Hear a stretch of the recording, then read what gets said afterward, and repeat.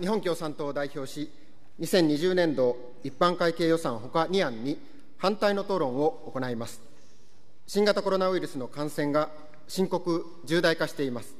政府が新型インフル特措法に基づく対策本部を設置しました。感染状況を正確に把握し、専門家会議の見解を踏まえ、適切な情報提供に努めるよう求めます。感染拡大を可能な限り抑え込み、命と健康を守ることに最大の力を注ぎつつ、経済危機からいかに国民生活を守るのか、政治の責任が厳しく問われています。日本共産党は、倒産とリストラ、失業の連鎖を引き起こさない、外需頼みではなく、内需、とりわけ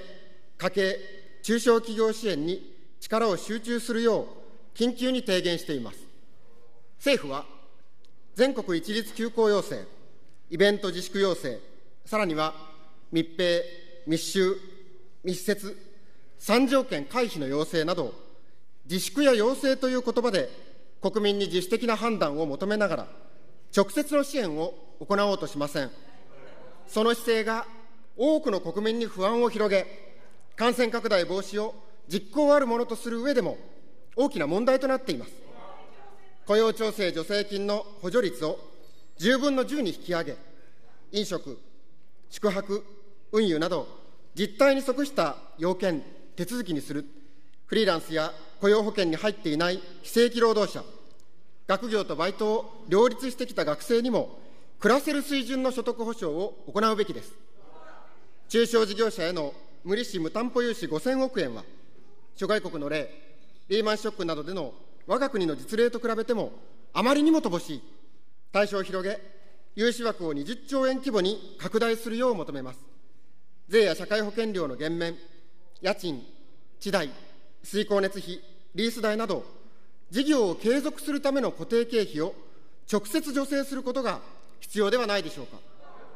文化芸術スポーツ団体などこのままでは潰れてしまうと悲鳴が上がっています。イベント自粛の要請に協力を求める以上、会場のキャンセル料や出演者への支払いなど、中止に伴う必要経費を補填する支援を直ちに具体化するべきです。いつまで続くかわからないという多くの国民の不安に寄り添い、抜本的な直接支援を強く求めるものです。もとより、現下の経済危機は、新型コロナの影響のみによるものではありません。昨年10月から12月の GDP は年率マイナス7.1%、1月の景気動向指数は6ヶ月連続で悪化です。消費増税の影響は明らかです。総理は1月にかけて消費税率引き上げの影響は薄らいできていたなどと述べましたが、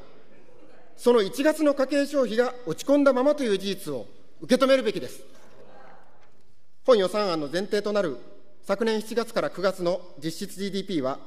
訴求改定で年率1.8%から0.1%へ下方修正されています。増税不況を無視した楽観的な予算案では、そもそも暮らしと経済を支えることはできません。昨日発表された3月の月例経済報告は、厳しい状況としています。新型コロナの影響は長期化が懸念されます。政府が頼みの綱とする東京オリンピックも延期が決まりました。すべての人が、とりわけ所得の低い人も直ちに実感できる経済対策が必要です。今こそ消費税を5%に減税する、その政治的判断を下すべきではありませんか。本予算案は、現在我が国の社会と経済が求める政治の役割を期待し得ないものとなっています。しかもその内容は、社会保障の切り下げ、大企業優遇と大軍拡という重大な問題を抱えています。社会保障費の自然増分を1200億円もカットし、年金は実質削減が続いています。さらにこの先、新型コロナ対策で大きな役割を発揮している公的、公立病院の再編統合を進め、75歳以上の医療費2割負担の導入、介護利用料の負担増、保育所予算の削減など、全世代にわたる社会保障切り捨てを狙っています。一方で、456兆円に上る内部留保を抱える大企業には、5G、オープンイノベーションなど、さらなる優遇策を設けるといいます。大企業優遇税制を改め、富裕層の累進課税強化へ、いい加減に踏み出すべきです。軍事費は過去最大、5兆3000億円に上ります。今年度負担は5兆4000億円にも達し、相変わらず米国製兵器の爆買いに突き進んでいます。安倍政権は、この上、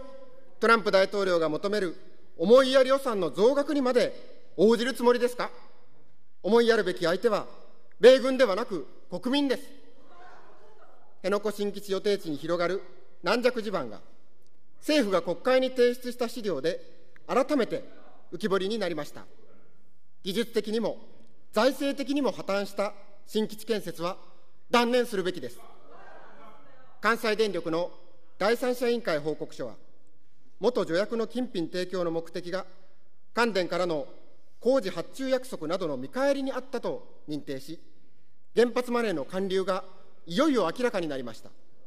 その構造的問題を改めることなく、再稼働ありきは許されません。中小企業対策費は過去最低、文教予算もさらに削減し、乏しい農業予算では、自由化による深刻な打撃や自給率の低下を食い止めることができません。気候変動への消極的な姿勢が国際的に厳しく批判される中、石炭火力発電の国内での新設と海外への輸出まで継続しています。格差を正し、暮らし家計応援第一の政治へ根本的に転換するべきです。森友学園問題で亡くなった近畿財務局職員の赤木俊夫さんの手記やメモの内容が明らかになりました。それ自体が新たな事実です。ところが安倍総理も麻生大臣も再調査をかたくなに拒み、真相解明に背を向けています。内閣が吹っ飛ぶようなことを命じられた。僕は検察に狙われている。真面目な一人の官僚を、自ら命を絶つまで追い込んだ責任を、わずかばかりも感じないというのですか？籠池夫妻と昭恵氏の写真が示されて以降、財務局が学園との交渉を一気に前に進めたことは、改ざん前の文書から明白です。総理はそれでも、総理も国会議員も辞めるという自らの言葉に従わないのですか？赤木氏は、改ざんの経緯を記したファイルを作成し、大阪地検に提出したといいます。その存在が指摘された以上、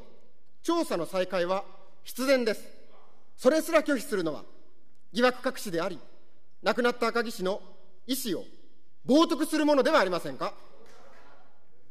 桜を見る会について、直近の世論調査で、総理が説明責任を果たしていると答えたのは、わずか7%に過ぎません。税金を使った公的行事の私物化、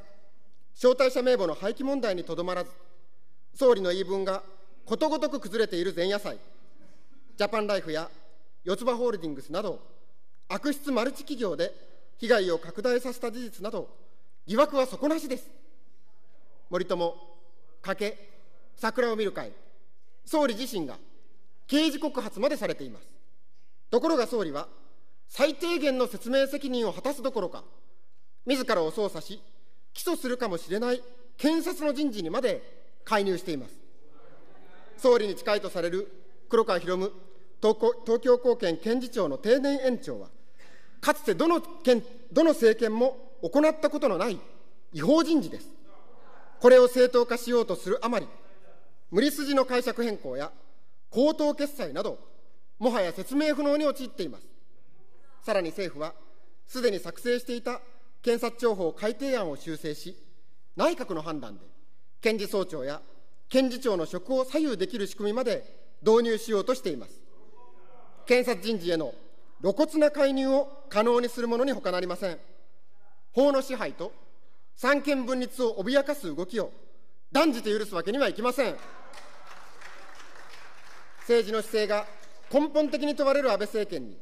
日本と世界の重大局面における舵取りを委ねることはできません。職場でのヒールやパンプスの強制に反対する運動、ハッシュタグ空通は、政治も大企業も動かしました。声を上げれば社会は変わります。市民と野党の共闘で希望ある政治の実現に全力を尽くす決意を申し上げ、反対討論といたします。